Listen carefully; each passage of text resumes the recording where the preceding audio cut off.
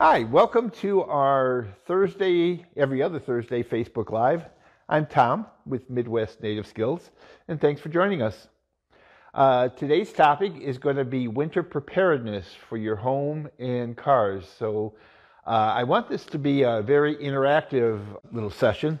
So, please, uh, I'd like you to uh, write in any comments you have, um, any ideas you have. I have uh, some ideas here uh, that I came up with, uh, which is kind of uh, survival twisted a little bit, a little twist toward the survival aspect. But uh, staying in your home when the power's out for a storm or, or whatever emergency uh, could get into a survival situation. And it's that survival mentality, uh, making do with what you have, but also planning ahead and being prepared for these situations that could turn a emergency in, uh, situation into just a normal routine. Hey, we're going to uh, just go ahead with our lives the way we planned for it. So uh, it always amazes me uh, when there's a, uh, uh, a, bad storm coming or some kind of disruption in our normal routine. We always hear on the news the lines at the supermarket are long or the shelves are bare and people are waiting for you know no toilet paper and and all this. It's like don't they realize that these things are reoccurring? And if you had to wait in line once, I could understand you you were unaware. The second time, you know it's going to happen. So when things are all normal, stock up on the stuff, stock up on a little bit of food, stock up on your toilet paper, so you're not one of those people waiting in line when the prices are a little bit higher and uh, everybody else is out there waiting in line. So uh, we're going to talk about that a little bit. Uh, Oh, we still have classes coming up. We have studying classes coming up in November. Uh, our survival classes are uh, are pretty much uh, uh done for uh, this year, 2021, but uh, we are getting signups for next year. And they also make great Christmas presents, so you can keep that in mind if you want to give somebody a Christmas present. And if you do give them, they are 100% refundable in case you give a survival class or one of our homesteading classes to someone and they decide it's not for them we'll give you your money back without a problem. Any ideas you have as we go through some of these topics, I'd like to know some of your comments. So please, please write in. So um, with some changing of the seasons, uh, getting your home and your car ready for some of these emergencies just makes sense. So uh, we're going to go through some topics, and I'd like you to have a mindset, assuming that you're going to be without power or without your normal routine where you can just go to the store, go to an ATM, go get gasoline or, or what you need for about a week. Because in a week's time, things should get relatively back to normal. But if you can think of that week, um, that would be a, a, good time frame to, to think about. Let's first start with the home, and I'm going to do a broad spectrum thing. Uh, uh, one thing uh, uh, Cheryl brought up on preparedness. Now, she's got a gardening mindset, which is great. Uh, she said, make sure you plant your bulbs outside. This would be the time of year to do that so that they're going to be popping up in the spring. So if you want your yard to look good in the spring, now's the time to go put your, your, your bulbs out and, and plant them for the spring. Now, not emergency prepared, but it is preparing for the spring. Another thing around your house, uh, clean out your gutters. Now, you want to do this after all the leaves fall. Uh, but when all the ice and stuff gets gets going and the snow and stuff, you don't want clogged gutters because what's that's going to happen? It's going to back up. You're going to have water damage, and you're going to have a lot more expense. Yes, it's a pain to get up there uh, to to clean out the gutters. It's a messy job. No one likes to do it. Just be careful doing it. Make sure you have uh, someone holding the ladder for you, but it's something we all should do. And we can go, you know, all about the gutter guards and all that. Uh, they're pretty inexpensive if you get them at Lowe's. They do help. They're not perfect, but they will help you out. Uh, furnace things, furnace around the house. Now, we all know that uh, in the list of survival uh, this the sacred order of survival when we're in the woods, we always do shelter, fire, water, and food. So uh, at our house, we have our shelter with the structure we have.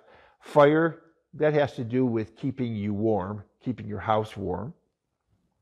Water, self explanatory, and food, also self explanatory. So let's, uh, our shelter, keep your gutters and all that clean, make sure that your shingles on your roof are good and all that. Fire would be your furnace. Make sure you have a new filter in your furnace. the time to do it. Get your furnace uh, filter size. They're usually pretty simple to do. You just take out the old filter, slide in the new one. Uh, it's going to make your furnace work less, work more efficiently, cut down your gas bill, and uh, it's just a smart thing to do. Now's the time to do it in October. Uh, if you're not handy, maybe now's the time to uh, to call an HVAC company when they're not busy, when they're not going to charge you a premium. Have them come put a couple drops of oil on the uh, uh, motor if you have an, an, oilable motor. They can check everything out, check to make sure the belts are good. Or if you're a little handy, you can do that yourself. If your furnace has a belt, you can just take a visual look at it. If it's all cracked and things, you probably need a new belt. If it looks relatively new without cracks, the belt's probably good.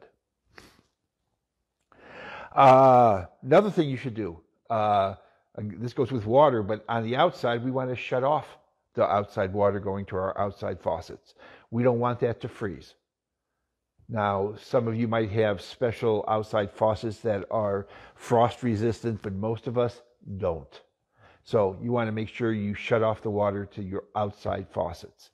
Uh, when you do that, make sure you open up your outside faucets. So if there's any water in the lines, it has some room to expand so it doesn't freeze crack your pipes, break your pipes. We don't want that to happen. Uh, this one is real important. It's going to cause you tons, or, or avoid you having tons of grief in the spring. We're almost at the end of the grass cutting season. When you cut your grass for the last time, you want to drain your lawnmower of all the gasoline that's in it. And this goes for any kind of lawn equipment you have. The gasoline that we're getting these days is really poor quality. It actually starts going bad, and by bad I mean it's not going to uh, uh, be good enough to start the engines very well after about a month or two. And after three or four months, it's really junk. It's going to start clogging up and causing varnish in your carburetors to a point where you the the uh, motor won't start. You're going to have to take that carburetor to a small engine repair place and pay anywhere from 80 to 100 plus dollars to have that little carburetor rebuilt. It can get pretty expensive. So what you want to do this time of year after you cut your grass for the last time or use your leaf blower for the last time, take that gasoline and responsibly spill it out, take it to a recycling place, call your city to find out how you can get rid of that gasoline in, re- in a responsible way. Then start that lawnmower up. It'll still start because there'll be still gasoline in the carburetor and let it run until it runs out of gas. Then we know there's no gasoline in the uh, uh, gas tank and there's no gasoline in the carburetor. Now It'll store for uh, the wintertime. Come spring, you put fresh gasoline in it, start right up. You won't have any problems. That's a, that's a tip that could save you a lot of money and a lot of aggravation come uh, April when it's time to restart that up. Few other things. Uh, check batteries in your smoke detectors. They always say check that uh, when we change the clocks. That's a good idea. But just keep that in mind if you want to stay on that uh, routine of when we set the clocks back, that'll be in November sometime. Uh, that's fine. But just keep that in mind that we need to start checking uh, or change the batteries in our smoke detectors, our CO2 uh, uh, detectors, or some of you might have radon detectors. Twice a year, it's good protection, it's good peace of mind. We need to keep your family safe. And for the price of some AA or some 9 volt batteries, it's great insurance. So those are a few, uh, few little things on that. Uh, also, for an emergency, you should have flashlights around with good batteries or your camping gear lights. So check those out. Now, if they have rechargeable batteries in them, you should be checking, uh, recharging those batteries once every couple months, even if you're not using them. Remember, rechargeable batteries have a natural uh, uh, uh, cycle when they get discharged just by sitting there and not being used. Rule of thumb is the old nickel cadmium batteries is about 1% per day. So in 30 days, even though you're not using that piece, that uh, piece of equipment with those rechargeable batteries, in 30 days, they'll be 30% discharged, even though you didn't use them. The lithium batteries, the lithium ion rechargeable batteries, they don't discharge quite as bad, but just to be on the safe side, you want to recharge those. Wouldn't be a bad idea to recharge them on the first of the month, just as a reminder. It's a good note. First of the month, I got to recharge the batteries in, in my rechargeables. So if there's an emergency, power goes out, you'll have lights. They'll be your camping gear lights, but that's okay. They'll be recharged, know where they're at. Other things, emergency water supplies. Now, there could be a boil order, there could be a lot of different things. So you, it's not a bad idea to have water uh, stored away. Now, we all have, or most of us have water tanks at home. They're 40 gallon or 60 gallon hot water tanks. Now, if there's ever a water contamination in your community, what's the first thing you want to do is shut off the water supply coming into your home. So everyone in your house should know where your main incoming water supply shutoff valve is. Reason for this is the water in your tank is safe. We want to isolate that from any contaminated water coming into your house. Makes sense. So that means we want to shut that water off before anybody flushes a toilet, turns on a water spigot, or anything like that. So everyone should know where that hot, where that valve is to shut off your water. And then we want to make sure that valve is workable. Make sure it's not rusted and frozen, and that everybody from grandma to your seven year old can actually turn that valve off and on. Locate the valve, find that. So when they turn that off, you have 40 to 60 gallons of good water. That's quite a bit of water. You might also want to store water. Remember, water never goes bad. Water will last a thousand years. Now, after a couple weeks, if your, store, your stored water might have a little funny taste to it, that doesn't mean it's bad. It's just not aerated. To get that water to taste good again, simple matter of just pouring it from one glass to another. That's going to re-aerate it. It'll taste just fine. You should also have a way to purify water. Simplest way is just have a bottle of bleach, the kind that you use for your laundry. This has to be the cheapest kind of bleach you can get. Make sure it has no scent, no coloring. Go to your dollar store and get a bottle of bleach. Now, I like to replace that bleach that I have just for water purification about every year. After a year, the bleach starts to lose its strength. But what do we do with that old bottle of bleach? Simple. We use it for our laundry. So it never goes to waste. So have a way to purify water. And remember, the ratio of bleach is eight drops per gallon will purify a gallon of water. And remember, when you're purifying water with a chemical like bleach, it has to sit 30 minutes to kill Giardia and four hours to kill Cryptosporidium. So basically, you're not sure if either of those is in the water. So I just leave it sit for four hours, and then the water is safe to drink. Okay, uh, what else do we have here? Plan a warming center for your house. Now, if you do lose power or natural gas, or you can't nor- keep your house warm the, nor- the normal way you do, don't have to panic. What you do have to do, though, is pick one room in your house that you're going to keep warm. So you're not trying to keep your whole house warm, just one room. Make it a small room. Then what you want to do, that'll be your warm room. You're going to go to all your bedrooms, get all the mattresses, and you're going to bring them to that one room. and you're going to build a fort. Remember when you were a kid how you build a fort? You put some walls up and a top on it. That's what you're going to do. So you're going to build a little fort inside this one room. That's where you're going to sleep. So you're going to build a room inside of a room. And those mattresses are going to be the walls. And so you're going to keep this little mattress fort warm. And you're going to put your blankets in there or sleeping bags if you have them. So you're just trying to keep this one room warm. Now, how are you going to keep the room warm? Well, candles do a pretty good job of getting the chill off a room. It's not going to get it warm, but it'll take the chill off. If that room has a fireplace or a potbelly stove, that's the way you're going to do it, as long as you have dried wood outside. So if you're living in a place where you have a potbelly stove, that would be my choice for that warm room. And I'd have I'd have a quite amount, uh, quite a good bit of wood outside, at least a cord of wood that's been drying for at least one year, accessible to me, and keep that wood, and that would be my backup emergency wood. Now, there's a couple other ways you can go get a uh, some kind of heating system. Now, I'm not suggesting going out buying an electric heater because if there's an emergency, chances are you're not going to have electric power either because the power lines would be down. Uh, my backup is a kerosene heater. You can get those at Lowe's. They're probably $70.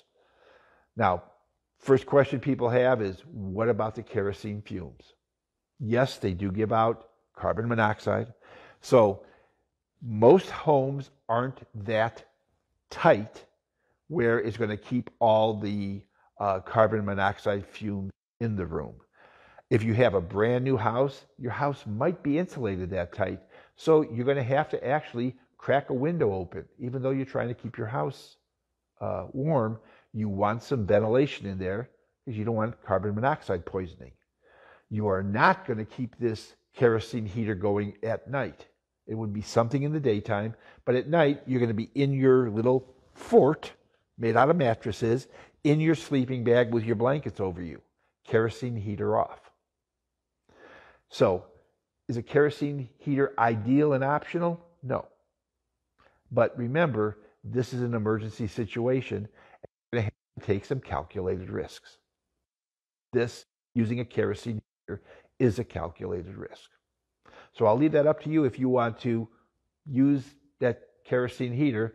We have two kerosene heaters here, and uh, we're, you know, in an emergency situation, we'll use them. But they are kind of a last resort. If it's sub-zero, the house is getting really cold, and we need to use them, we're going to use, we're to use them. Uh, if we don't need to use them, we're going to find other means like our fireplace and things until it gets to that point. So you have to use your head and, and just determine what risk you want to take and what the situation is. Um, uh, check your stash for hygiene products. Now's the time to get your hygiene products. Now's the ch- time to get toilet paper. How much toilet paper do you use in a week? Check it out. This upcoming week, actually calculate how much toilet paper you use. And so you can stock up on that much, but I would, why not get two or three times that amount? You'll use it. It's, that money's not going to waste, and then you don't have to stand in those long lines. So I always have we upstairs, we have probably two months worth of toilet paper. so we have plenty of that, more than enough. And uh, in a real emergency, uh, toilet paper is, is a good trade item if it ever got that bad, which I doubt if it will, but it's good, not going to go to waste. So stock up on other things, toothpaste. And you don't have to stock up on months worth, but have enough where you don't have to go running to the store in case of an emergency. Uh, have a battery operated radio around because you want to be in communication to find out what's going on in the outside world. So make sure you have a, a battery operated radio. Uh, I don't want to turn this into a uh, advertisement for some of our products that we sell, but our Kaito radio, it's a pretty inexpensive radio. Uh, we have an analog version with a dial, and we have a digital version, which is a little more accurate and the analog is around $60 and the digital is $99. But this radio is an AM FM. It has NOAA weather bands. It has the shortwave bands, all seven of them, and it has uh, several ways to recharge it. Uh, it'll work off 110 volts, so you can plug it in the wall if you have power. If you don't have power, it works off uh, battery. It work, has a crank, so you can crank power it. It's got a generator built in. It works off solar. Uh, it has a built-in rechargeable battery. Uh, it works off 12 volts, so if you have a car, you can plug it in at 12 volts. It has a lot of different ways uh, to uh, power the radio, so that would be a good choice. There's others out there, uh, but this is the best value we found. So a radio like that would be definitely good to have for an emergency. Uh, Wendy wants to know on the gas, how long can you store gas for a generator and will it keep over the winter? Gasoline? That's an easy answer. No. Gasoline in a container, figure one month. If you put that uh, additive in called Sta-Bil, that will extend the gasoline to about three months. The gasoline that they're putting out uh, uh, in the last two years, Wendy, is crap. It's terrible gasoline. It's eating, uh, because of the alcohol they're putting into it, it's eating the rubber parts, it's eating gaskets, it's causing carburetors to, to not function the way they're supposed to. Uh, it's not lasting. In the old days, gasoline would last about six months. If you put the Sta-Bil in, it would last a year. That's no longer the case. Without Sta-Bil, one month. With the Sta-Bil, three months. So uh, gas is is terrible. Uh, so that's what we have to live with. Okay, uh, fire extinguishers, uh, especially with Christmas coming up. You should always have a fire extinguisher around, but we always hear about people's house burning down because of trees, you know, Christmas trees, electrical things. Uh, now, you probably, on fire extinguishers, uh, they have uh, classifications of fire extinguishers and they're labeled A, B, and C. If you get an, a fire extinguisher with an A classification, that means that fire extinguisher is good for paper fires. Papers, garbage, things like that, wood fires, that's what it's designed to put out. If you get one with a B classification, it's made for a liquid fire, like a gasoline fire some liquid that's burning. A C rated fire extinguisher is for an electrical fire.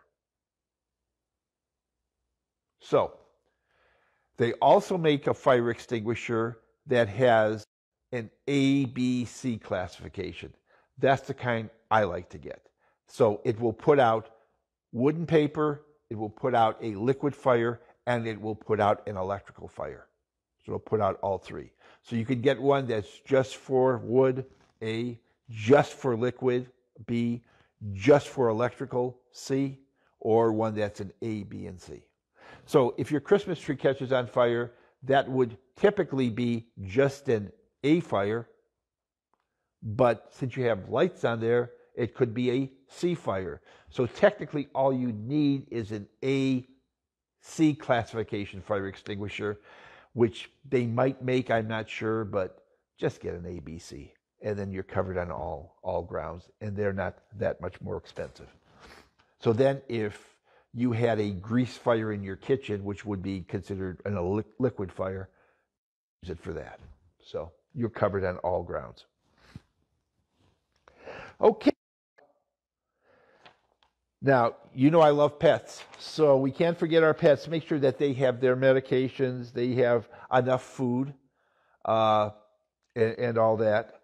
Uh, make sure they have at least you have at least one week extra food for them, and make sure that you have enough medications. If if you're on some meds, I like to keep aside about two weeks of any medications that uh, you would be on, just in case.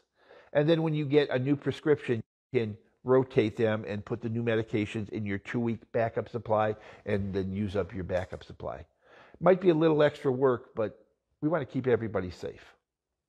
So let's go to your car kit. Now, we did a, a YouTube video and a, a, Facebook Live on car kits, but I want to add a few things to that because your car really takes a beating in the winter. First thing I want to tell you, and most people don't realize this, in the wintertime, your car battery, everybody knows we have a car alternator that charges our battery when we're driving the car.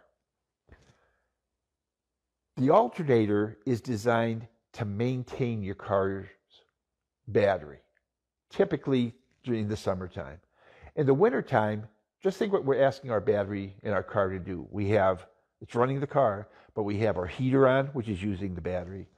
We have our radio going. We have our defrosters going. We have our headlights on. We have our wipers going. We're asking a lot of electrical demand on our electric system. That battery's really got its work cut out for it. The alternator is not really designed to constantly put up with that much drain. So, a couple things we need to do. Before you turn off your car, I want you to turn off all of your accessories that you've been using uh, when you were driving the car. So, pull in your driveway, turn off the heater, turn off the radio, turn off the wipers, turn off the lights, turn off the defroster. So then, when you get in the car the next day and you're starting the car, the starter motor takes a lot of electricity. All you're asking that battery to do is to start the car. It's a lot easier on the battery. Your battery's going to last a lot longer and it'll start the car a whole lot easier than trying to start your car as well as power your lights and all the other accessories that you forgot to turn off. I'm just trying to be a little nicer to your car so it'll start in those cold, cold days. So just turn everything off when you get home. Yeah, it's a little more work for you, but it'll be a lot nicer on the car. Now, if you want to be, if you want to extend the life of your car's battery, that's easy to do. A car battery typically will last about four years. If your car's battery is four years old, you better start putting money away to buy a new one. And a new battery is anywhere from about 150 to 200 dollars these days. You can extend that four years to six or seven years if you put a charge on the battery or put your battery on a battery charger once a month throughout the year. Now you can go to an auto parts store and buy a battery charger. They're usually about 10 amps a 10 amp battery charger is what you're looking for, and it'll be about $100.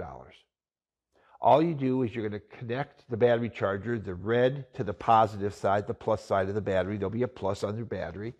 And the black side or the negative to the negative side of the battery. Plug it in, and the battery charger does the rest. Keep that battery charger on for just 12 hours. Do that once a month you're going to add two or even three years to the life of the battery.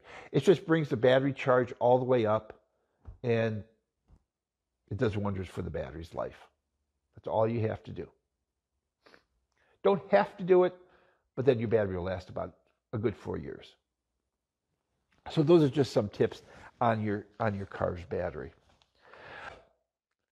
Okay, things in the back seat in the trunk that you might want to put in there blankets. If you ever get stranded on some out of the way road, you might need those blankets to keep warm. I, you know me with my wool. I love wool blankets. Some of those heat reflector blankets, those reflectors, uh, those are great blankets to have too. So I would have a heat reflective blanket and a wool blanket. And I'd have one for everybody that you expect to have in the car. So I definitely have one for myself as the driver, but I'd have at least one extra because you might have one extra passenger. So that would be two of them. So uh, that would be something you want to have. I'd have some fire starting materials there and make it easy. I like those ferro rods. One of my favorite fire starters, and if you ever were in a survival class of mine, those blast matches. Now, I'm a big advocate of primitive fire starting. You know me, I love my flint and steel and my bow drill. But if you're stranded on the side of a road in a snowstorm, that's no time to try to be primitive. You want a fire and you want it now. So, in my fire kit for my car, my first line of defense would be a Bic lighter. Second line of defense would be a blast match. And uh, then I'd have some jute tinder there. Now the blast match is going to work, or the, the lighter should work. Now remember, in cold weather, you might have to hold that lighter in your hand or put it under your armpits to warm up the butane. You might have to hold it there for about 30 seconds, then it'll work. The blast match, that's going to work no matter what the temperature is. You want to put some jute tinder in there. Now, some of you might say, oh, I'm going to put uh, dryer lint there. Dryer lint will work as long as you got it out of your dryer with 100% cotton when you were drying it.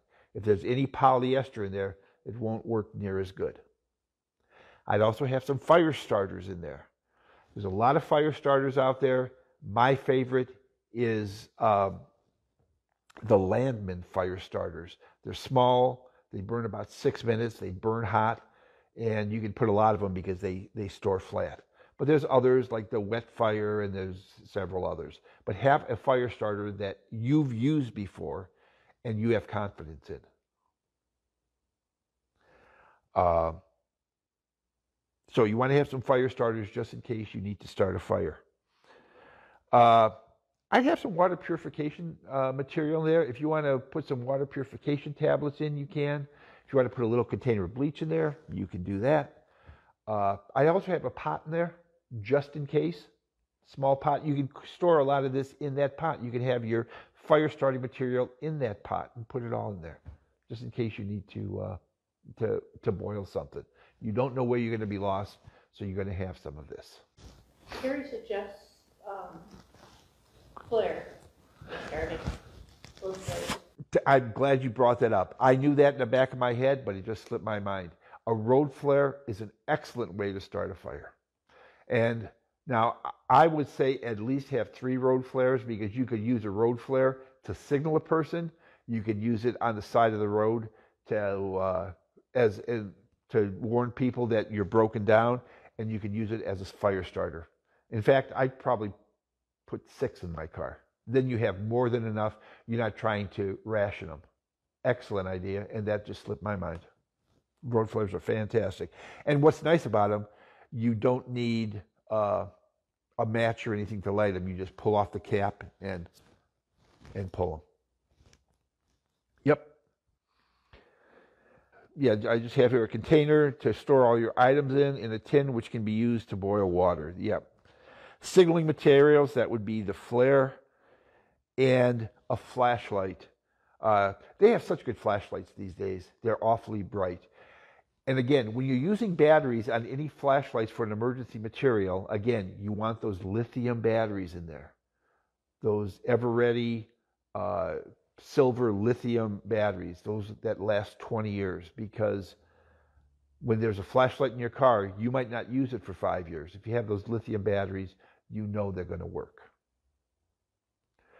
So, uh, also in the trunk of your car, I would have a small uh, bag of salt and I'd have a small shovel in there. Salt, because you can always throw that under your tires in case you get stuck. Snow shovel, believe it or not, I've seen cars get stuck in this much snow just because the tires start spinning. All it takes is for you to dig some snow out and get that little rut that the tire made. Just let the car get a little bit of uh, traction and it'll walk right out of those places. But you think, oh, I could do that with my hands. Really? Have a good pair of extra gloves because a lot of times the gloves we take are for fashion and they're not rugged gloves that you're going to need to dig out dig out your car. If you want to go a little extra, oh, one thing that is a must that everyone listening and tell your friends you must have in your car a pair of jumper cables. If your battery goes dead and you need a jump for somebody, most people are more than willing to help you. They'll stop, they'll pop their hood, you connect the cars up, and you, they'll give you a jump to start your car. Most people are willing to do that. Most people don't have jumper cables. So it's up to you to have these jumper cables in your car. My suggestion make sure that they're long. get the longest pair you can. And you should get as heavy of a gauge wire as you can also. They're going to carry the most power. And uh, so by what gauge? I would say 14 gauge would be good. If you can find 12 gauge, and they'll say on the jumper cables, these are 14 gauge, these are 12 gauge. Uh, those would be good heavy jumper cables. If, uh, 10 gauge is probably you can't find them that heavy. If I could find 10 gauge, I'd buy them. But 12 gauge would be fine. 14 gauge would be okay. 16 is getting light. 18 is getting too light. Uh, length, 8 foot's good. 10 foot would be better. 10 foot's good. 12 foot would be better. And 12 foot's good, but 14 foot would be better. So longer, longer is better on that.